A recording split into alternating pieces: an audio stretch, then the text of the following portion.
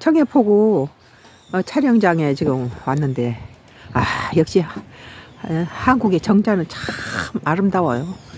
그 천마 선도 아름답고 저 뒤에 보이는 정자하고 이 앞에 보이는 정자하고 아 이것은 이렇게 어, 기단이 그냥 돌로 간단하게 해서 이렇게 조각으로 해가지고 천장은 이런 식으로 어, 꾸며져 있는데 저쪽은 좀 달라요. 아 저기 저기도 저 어,